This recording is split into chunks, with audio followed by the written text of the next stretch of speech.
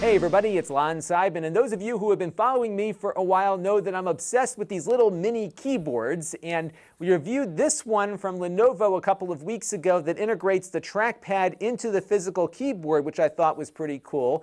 But a lot of you kind of balked at the $60 price tag for this one, so uh, I'm always on the lookout for new ones, and a company reached out to me on this H20 keyboard that they're selling right now on Amazon for $20 and it's got a physical keyboard here in the front that is backlit, and then it's got a trackpad here on the back, and it's got a, a little gyroscope inside so it knows what orientation it is in. Uh, so you can pretty much hold it any way you want and get both the keyboard and the trackpad integrated into a very inexpensive device. And we'll be taking a look at this thing in just a second. But I do want to let you know in the interest of full disclosure that one of the Amazon sellers who sells this thing uh, sent it to the channel free of charge. I'll put an affiliate link to their store in the video description. There are a number of other sellers selling the exact same thing, so you shouldn't have any trouble finding it over at Amazon.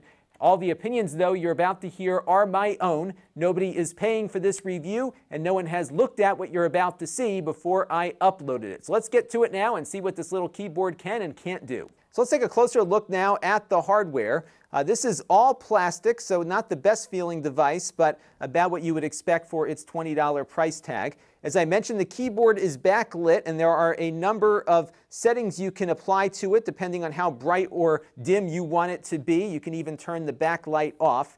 It has a rechargeable battery inside. You have to charge it via USB. They give you the cable, but not the charger, but any USB power source should work. I do recommend switching it off with the physical switch here when you're not using it because uh, I think it will probably drain the battery if you leave it on when it's not in use. But in my testing so far, I charged it up once when I got it, used it off and on over the last couple of days, and it's been able to hold the charge pretty decently. Now this is not Bluetooth, it does rely on a dongle. I doubt that there's any encryption going on between the dongle and the keyboard, so if you're in a high traffic area, you might want to avoid typing passwords in with the keyboard. Uh, just bear that in mind. A lot of these cheap devices often don't encrypt communications back to their wireless dongles.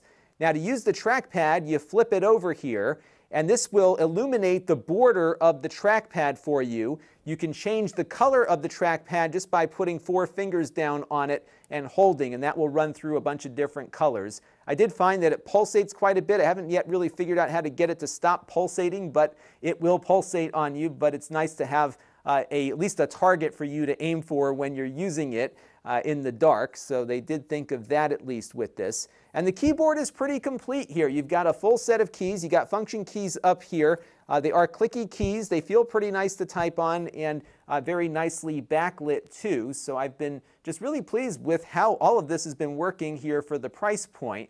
Let's take a look though and see how it works with a Windows computer. I did test it on my Mac as well as an, on an Android box, a Shield TV. It worked on both of those, but a lot of the gestures are only going to work on Windows. So let's plug it in and see how it works. So let's begin with some exciting stuff, namely typing. And of course you can uh, type things out here on the keyboard. It's very comfortable to type on, nice click to the keys.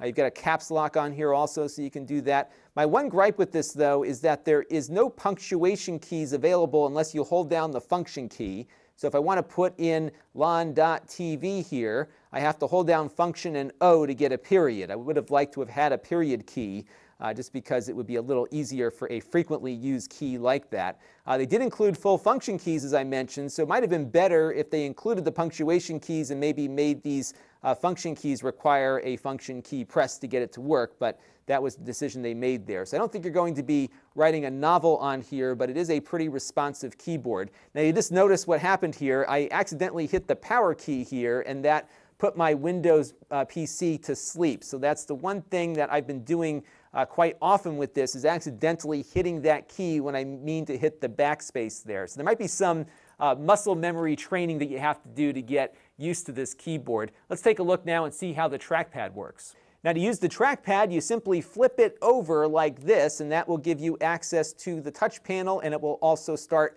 tracking your movements. Unfortunately, the trackpad doesn't work when the keyboard is right side up. It would have been cool to uh, been able to use the mouse underneath it, uh, but that is not how this operates. So it's got two distinct modes. Keyboard is on when the keyboard is right side up, trackpad is on when it is right side up.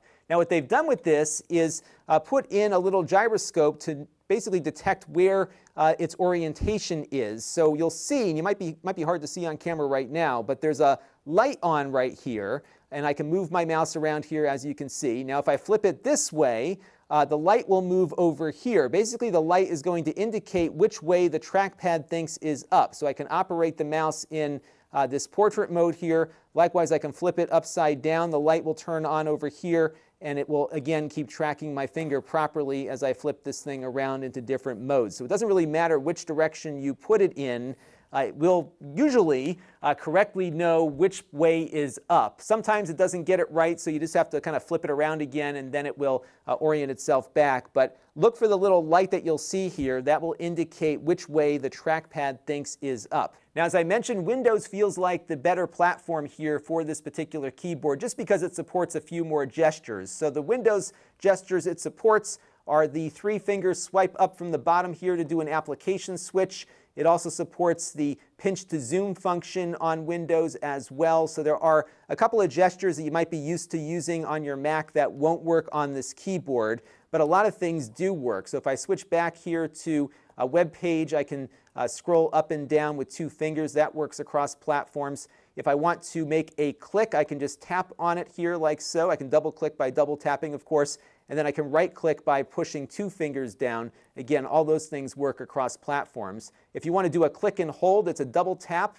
most of the time and then you can drag windows around and do that sort of thing. I'm actually quite pleased with the accuracy of the touchpad. It isn't bad for a uh, cheap device here, so that was nice to see. And again, it's pretty responsive, and the pinch to zoom here seems to be working pretty nicely too. So for about $20, I think it's a pretty good deal. It seems to be working very well for me. I do recommend, though, getting a USB extension cable and keeping this dongle in line of sight to the keyboard. The reason is that if you've got it tucked behind your TV or behind a set-top box somewhere, it may not get the best signal back to this and you'll have some uh, jumpiness with the trackpad. You lose a lot of accuracy when the signal is going in and out. So keeping that uh, dongle visible, I think, will give you a better experience with it. Unfortunately, they don't have a place to store the dongle, so you'll need to keep track of it as you're playing with it. Now, one feature I could not figure out with this is the IR feature. You'll see that right up there. Apparently, it has some limited ability to learn the IR signals from your remote control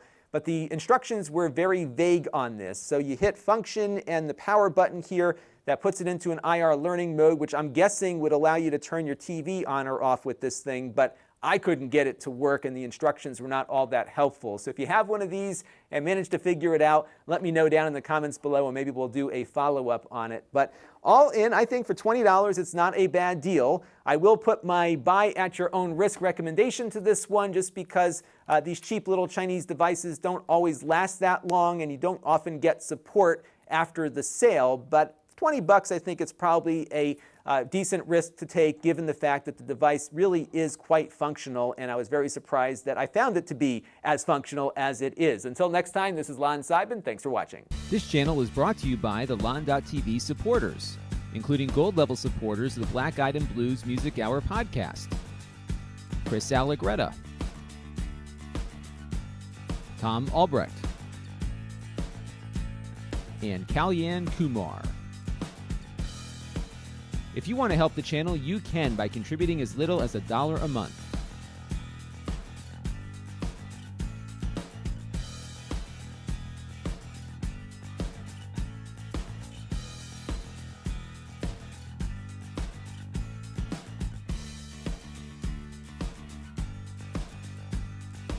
Head over to lon.tv slash support to learn more.